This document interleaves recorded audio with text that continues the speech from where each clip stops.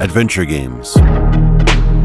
Arguably one of the most important advances in video game development, taking us from the simplicity of shooter, action, and platformer games to experiences where we had to let go of the joystick or keyboard for a moment and use a skill other than reflexes and hand-eye coordination. Our minds. They originated in the 70s and early 80s, with the text-based adventures of Zork on the computer and the classic Atari title Adventure, offering some of the earliest story-driven gaming experiences ever enjoyed. In an industry dominated by arcade games, just about every game today has implemented aspects from the adventure game genre, yet despite their consumer and critical praise and industry-wide influence, pure adventure games have struggled historically to find a mainstream audience. Though the genre term adventure has fallen into disuse and may sound generic, there are key design pillars that made these games stand out, despite their evolving presentation an emphasis on puzzles and a tightly crafted narrative and story, often flush with dialogue, as well as mechanics involving the collection of items, then combining or using them to progress to the next challenge, with little combat or none at all. The late 80s saw the genre's transition to a more graphical presentation, and what is now known as the point-and-click adventure game was born. Classics like Maniac Mansion and The Secret of Monkey Island inspired audiences around the world to solve challenging brain teasers and embark on fantastic journeys. The early 90s continued this evolution, and as real-time 3D technology improved, a new iteration of adventure games debuted. 1992's Alone in the Dark popularized the tank control style of gameplay, a beloved classic, which spawned survival horror tropes that many games would imitate. It was unlike anything out there at the time. Evocative static camera angles that would shift as you walk around the environment, shot like a stylish movie, it featured a haunting, Lovecraftian tale set in a decrepit mansion full of secrets and horrors, and in spite of its primitive polygonal models, a sense of fear and atmosphere lurked around every corner, and was a major inspiration to the most popular example of the style, Resident Evil. The combination of slower, more realistic movement and stationary camera use was a shoe-in for the claustrophobic anxiety present in these types of horror games. Even bleeding-edge consumer hardware could only render a handful of polygons at a time, so this was an excellent example of how technological limitations inspired style. Static, pre-drawn, or pre-3D rendered backgrounds used far less resources to compute, compared to a real-time 3D world. Before the AAA game development industry came into 10, 50, or sometimes over $100 million budgets, and the return on investment they demanded, there was a period which saw the creation of high-quality but niche PC games that equaled anything else on the market in terms of quality, with a curious amount of adventure and puzzle games coming out of France. In this fascinating chapter of game development, burgeoning French studio Kalisto Entertainment started creating their first high-profile computer game, and though obscure now, it set forth an unforgettable experience through the post-apocalyptic adventure of Dark Earth.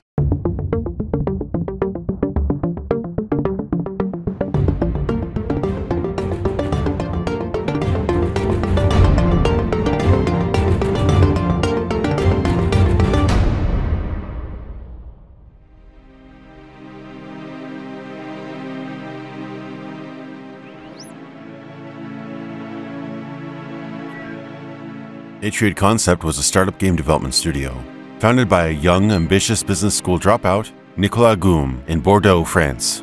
A local journalist, Guillaume Le Pennec, was covering video games in the early 1990s when he reviewed Alone in the Dark. Guillaume fell in love with the groundbreaking adventure survival horror game, and today maintains it is a masterpiece of game design. As these two paths crossed, Atreid hired Guillaume on as a designer and writer for their studio, and as smaller game projects were launched, they got the attention of Mindscape, a larger, international developer and publisher headquartered in California.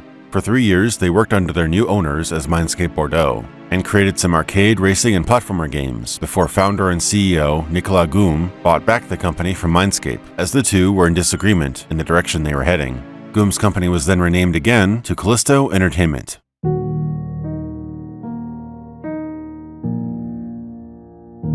Ever since playing it in 1992, Guillaume Le Pennec wanted to create a game like Alone in the Dark. And so in the mid-1990s, the next handful of years were dedicated to developing a Bible of sorts that would eventually become the foundation for an ambitious transmedia franchise, Dark Earth.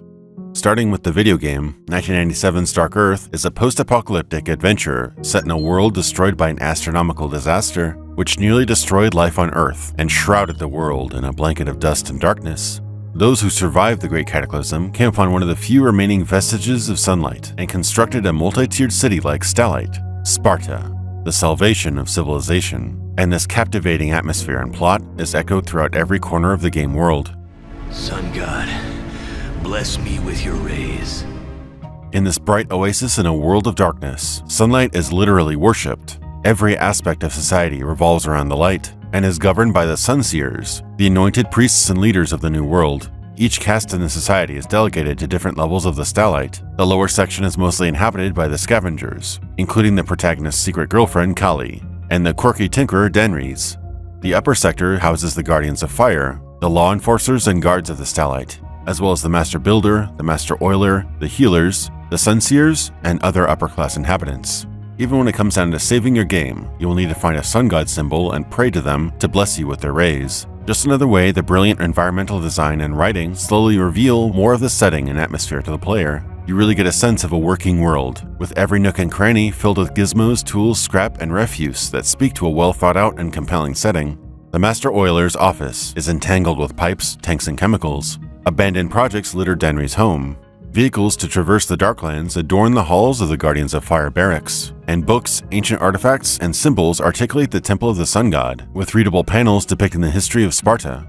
Even the intended use of artifacts from before, the time preceding the apocalypse, are misinterpreted after a 300 year Dark Age. A stack of compact discs are mistaken for mirrors, as an example. And the subtle hints at what happened and investigating the remnants of past civilization spark burning questions that the game tantalizes you to find their answers.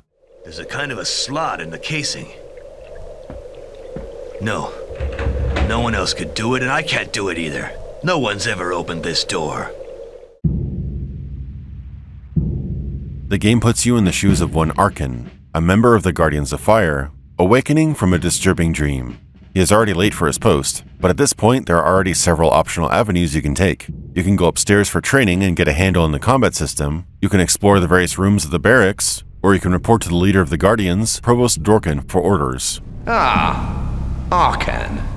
It's you. Provost Dorkin, I'm sorry. I, I, I was, uh... Save your arrogance and your lame excuses. I'm not in the mood. Early in the story, Arkan is poisoned by the Shankar Archessence while defending a Sunseer during an attempted assassination. Though the leader of the Sunseers survived the attempt thanks to his efforts, Arkan is now cursed with the black rot running through his veins, slowly transforming him into what his own order fear most, a creature of darkness. One of the beasts that now roam in the post-apocalyptic lands surrounding Sparta.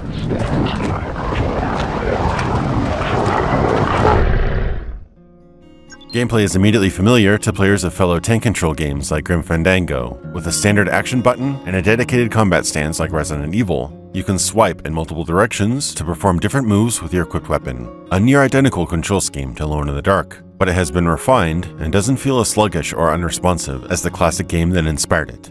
Though Dark Earth isn't strictly speaking a horror or an action game, rather it's a dark fantasy post-apocalyptic adventure, though it does share the brutally tough combat of its survival horror cousins. Some fights will have you outnumbered and beaten to a pulp, with few ways to restore health other than slowly over time. It can feel constrictive or unfair in tight corridors, but I find myself cursing the enemies and my own lack of skill rather than the game, most of the time. The game does have an auto combat feature, likely to accommodate people more interested in playing the adventure game of Dark Earth rather than its action survival side. It's a shame that auto combat seems to be nothing more than a seemingly random button mashing feature, which will only get you through the most trivial of battles, defeating its purpose. Dark Earth's controls may be unintuitive to some players, as many games nowadays let you turn your behind the shoulder camera with your mouse or controller, but it's no worse executed than the best examples of the classic adventure genre. Punishing difficulty and the control scheme were the main sticking points reviewers had at the time. Ironic, as many games now are praised for their difficulty, if you're observant though, and you make sure to collect as many items and weapons you can get your cursed mitts on, you can tip the odds to your favor, and occasionally avoid some fights altogether.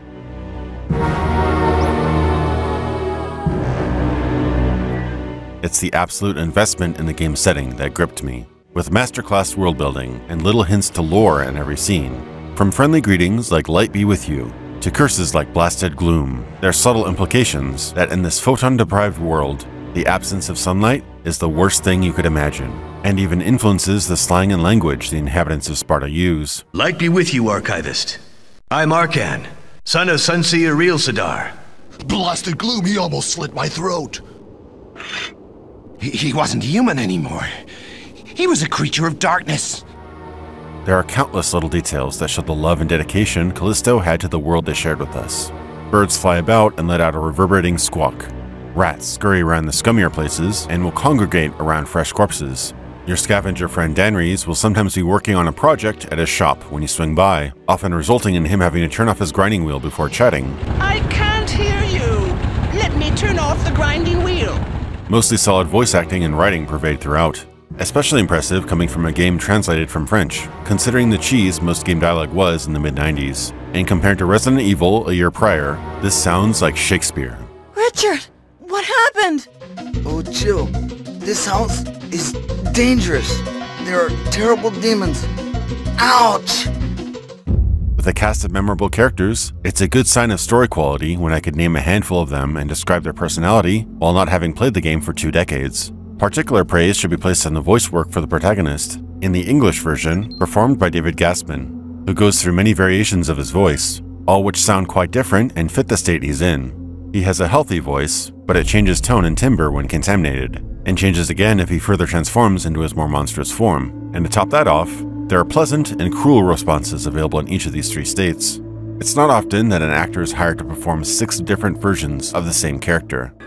My father and Lori, the great Sunseer, with their heads together. They looked like they were pretty worried about something. So, Master Oiler, too busy to talk? Kali, don't panic. Listen, I had to go to the hospital. Quit yelling! It's me, Arkan! Hey, hey, hey, calm down. I couldn't find Thanandar. The story has an interesting arc with some endearing allies, and well acted but ham fisted villains. There are some twists that are a little too strongly telegraphed, but the game has enough turns to keep it interesting. And I'm not sure if it's the 1990s era computer graphics, the fact that cutscenes were synced to French then dubbed in English afterward, or the stirring audio design. But the CG cinematics in this game have a strange, unsettling feel to them. Cutting edge for 1997, though obviously dated now, I remember playing it on launch and having a churn in my gut whenever a cutscene started, as I knew I was in for something unexpected. Some potent, nightmare feel moments will likely stick with you for years. Ah!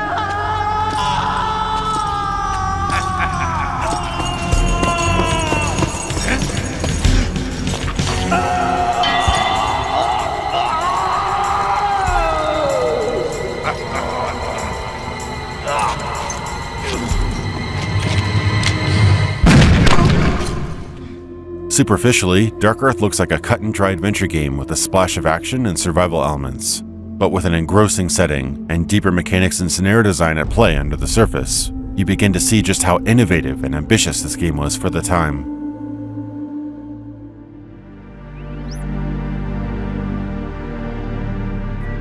In spite of frequent references to the dark and the light, Dark Earth thrusts you into a world of the morally gray. In an interesting design choice that removed dialogue windows with a handful of options, like many adventure games, the element of choice in conversation is instead replaced with two moods, which you can switch between at any time light and dark. This affects the tone of your dialogue and the reactions your character has when interacting with objects. Light Arcan will open doors casually, and will try to plead and calm people down with reason or persuasion. Moldar, I'm begging you.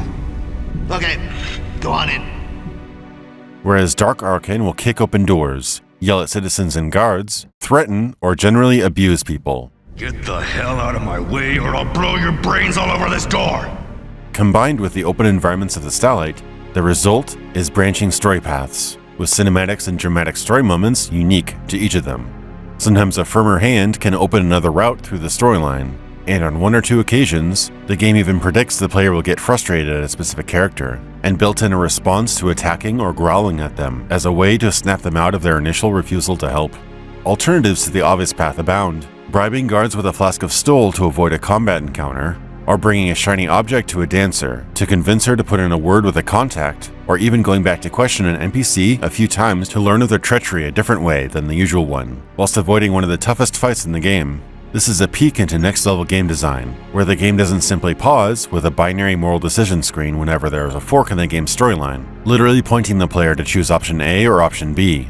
Instead, Dark Earth provides tools to use, and each player's individual behavior governs the outcome, making those choices invisible and immersive, without even informing the player that they've ticked a narrative box at all. Arcan is feared and even attacked by the more superstitious inhabitants of the Stallite, but if you're cautious and try to explain yourself to them, you can avoid several fights with guards. If you run around or act too recklessly though, you'll have a lot more combat on your hands. This is one area where Dark Earth innovates and distances itself from common adventure games. The freedom of choice. You can kill just about any character in the game world, friend or foe. Over half the NPCs could die and the story would continue on, there are a couple key characters, though, that if you end their lives, you'll be met with an assassin or guard killing you in the next scene. Disappointing, but understandable, as it would be a nightmare web of dynamic storytelling if you could remove X, Y, and Z characters and somehow the adventure would go on without a hitch. There are even optional sequences that could be completely missed by the unwary, like sneaking under the Stallite walls and exploring a part of the outside. It's a brief but captivating glimpse into the world that begs to be further examined. A notable distinction from many other games is the thematic scarcity of firearms. In this Neo-Dark Age, there are few guns, but they are very powerful, often suddenly ending difficult fights in short order.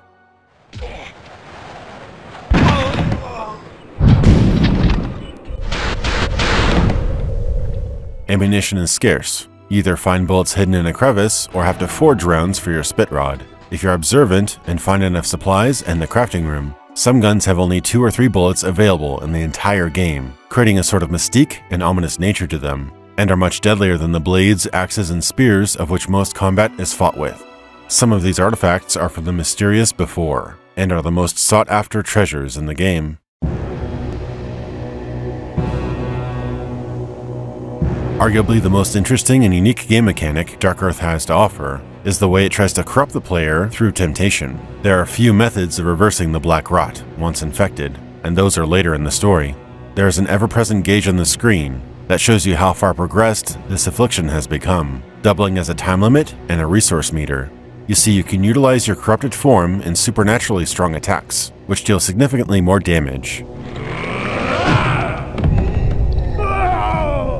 Useful in a game with punishing combat like this one. The catch? Every time you use a power attack, the meter drains more. Around the halfway mark, if you don't find relief, you'll permanently transform further into a creature of darkness. In this even more monstrous form, NPCs who are on the fence about your appearance will react aggressively, and may attack you even if they hadn't before, and every single line of dialogue you utter will be affected by this new form. It's a fascinating study of how far Kalisto went with the story and setting, that they'd create so many reactions and dialogue lines for what could be considered an unnecessary expenditure of time by the people footing the development bill. You can even go back and read the historical passages on the walls of the Sun God Temple in Arcan's monster voice, and you'll have a completely different reaction to it. That's dedication to the craft. I always thought this monster was just a legend. After what's happened to me, I've changed my mind. Which I want to be. Man or monster?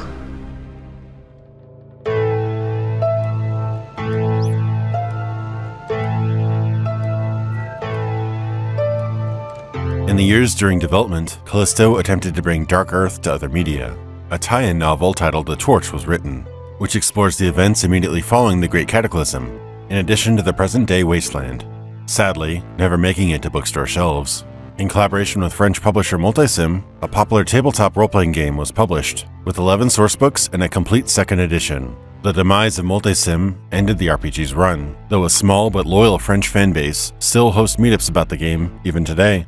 An animated cartoon was being developed, but early iterations saw characters from the video game reused haphazardly, with little of the personality or story function retained, so the collaboration with the external animation studio was ended. What was to be a big budget television show was in development, with the rights to Dark Earth personally secured by Ridley Scott, but never got off the ground. Even a feature film was in the works, with screen legend Steven Spielberg involved at one point, yet due to complications, was never casted or filmed. Much of this could be credited to the fascinating setting that Guillaume and his team put together for the game, but from the business side, it also showcases CEO Nicolas Gaume's ambitions for the company, rubbing elbows with luminaries like Bill Gates, Steven Spielberg, and large corporations like Sony, Apple, and DreamWorks, even convincing some of them to join his management team. But despite a glamorous public face with entertainment and tech big shots attached to it, It was a rocky road through much of Kalisto's existence. Electronic Arts pulled out of a publishing deal for Dark Earth just months before the game's release, being later picked up by Sid Meier's company, Microprose, who, also struggling at the time, released the game, but to minimal marketing or fanfare. Guillaume also worked on the concept and idea behind Kalisto's Nightmare Creatures, a visceral action horror game for the PlayStation, PC, and Nintendo 64, originally releasing in 1997, though only involved in the beginning as he was unable to dedicate much time to it while working on multiple Dark Earth projects. Nightmare Creatures and its disappointing sequel were probably the most successful games Kalisto released, selling roughly a million copies total. Kalisto also developed two games based on the fifth element, the hit sci-fi movie by fellow French director and screenwriter Luc Besson. The games were poorly received and didn't do much for the company's bottom line.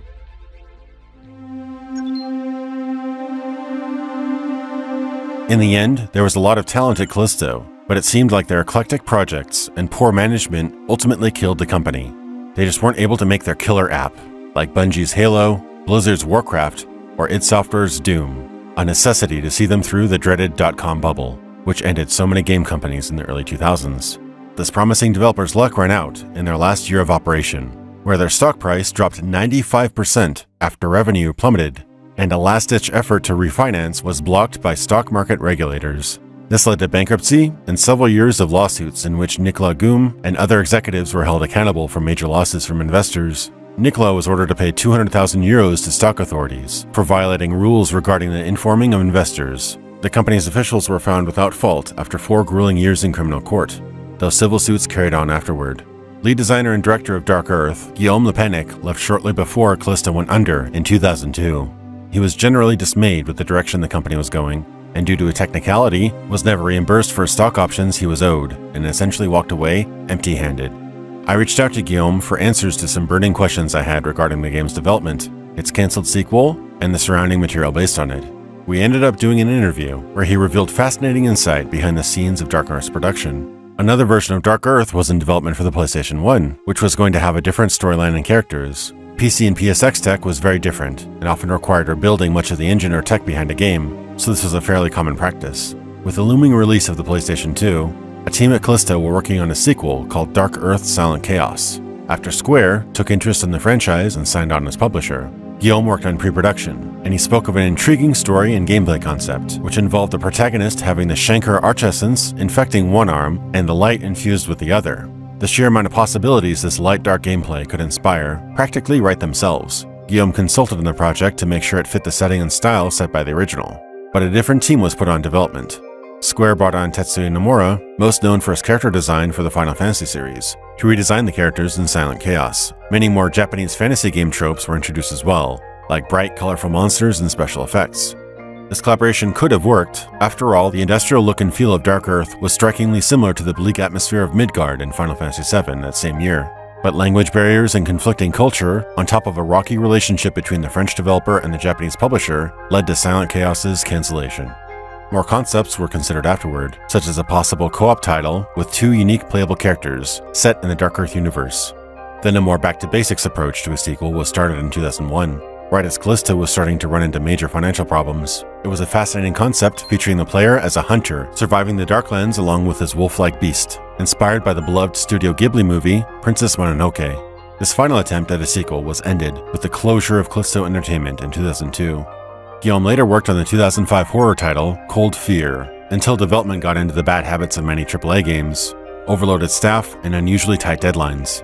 When he signed on, the prevention of these problems were promised, but not fulfilled so Guillaume left the project before its completion. Guillaume now works as an independent writer and has done a wide swath of translation work from English to French, ranging from the Elder Scrolls Oblivion to entire novels including works by James Barclay and Jim Butcher. So perhaps the dream of revisiting the imaginative and compelling world of Dark Earth has passed, since the rights to the game's intellectual property is likely tied up in some obscure holding company or legal purgatory. At the time of this video's release, the game is still unavailable to buy in any digital format. But as Guillaume mentioned in our interview, he hasn't yet given up on that world, and even today, still wants to bring it to a new and bigger audience. Though stuck in the notorious development hell, he's still in talks with the director and may be able to secure the rights and budget for a full English feature film set in the Dark Earth universe. Reaching for the sky in an Icarus like tale, Dark Earth nearly achieved greatness across the gaming world, movies, and television. but instead returned to the darkness from which it was inspired. Though the future looks bright for long lost franchises to return, we even witnessed the re release of System Shock, with a remake and sequel now in development. Another discarded franchise caught in legal limbo for over a decade before being brought back to mainstream audiences. I'd like to be optimistic that we'll be able to enjoy the niche but beloved experience of Dark Earth once again. In this gloomy era of cynical monetization and endless retreads of proven but derivative entertainment, new technology and platforms are allowing creators to break the rules and occasionally provide us with the unexpected. There may be hope in the horizon.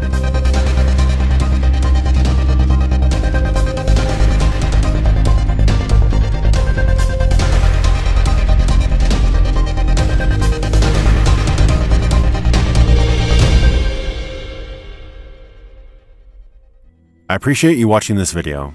If you haven't noticed, I've been alternating between more obscure games like this one and more mainstream franchises. If you want to see more of this type of coverage, please tell me so in the comments and share this with your friends. It helps to get this out to a wider audience. My heartfelt appreciation goes out to my awesome patrons who help make these videos bigger and higher quality. If you'd like to support my work, please check out my Patreon and consider donating. And as always, thank you for watching.